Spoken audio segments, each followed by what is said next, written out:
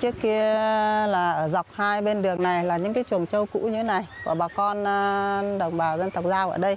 Xuống đây là chỉ là một cái đường đất nhỏ chỉ khoảng 4-50 phân nên bà con chỉ đi bộ được mà phân trâu, phân bò là ở xung quanh hai bên đường và đường là rất bẩn.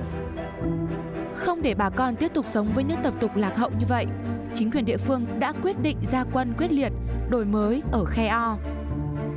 Phải mất 2 năm vận động, 2 tháng triển khai, thôn Khe O mới có tấm áo mới, khang trang sạch sẽ như hiện nay. Không còn những chuồng nhỏ lẻ bên đường, châu bò nay đã được người dân đem về nơi mà họ hay gọi là chung cư châu bò.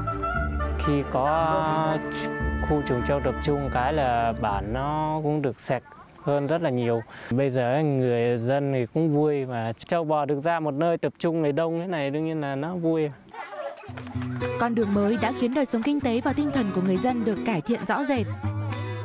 Người người nhà nhà ở Khe O giờ còn tăng gia sản xuất, vươn lên thoát nghèo.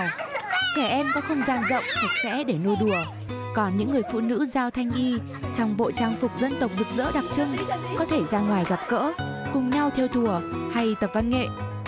đi con đường cũng thấy ờ, mình xinh xắn và cả con người thấy ờ, tấm lòng rất là vui cả người già lẫn người trẻ ai ai cũng vui và có con đường cho con đi học và người dân cũng đỡ khổ thấy đi lại thấy dễ lắm rồi một chuyến xe chở được khá nhiều mấy gánh rồi cái do gánh được khoảng mấy cân rồi Chiều đến, người dân thôn cây O vẫn gọi nhau cùng quét dọn con đường thôn xóm.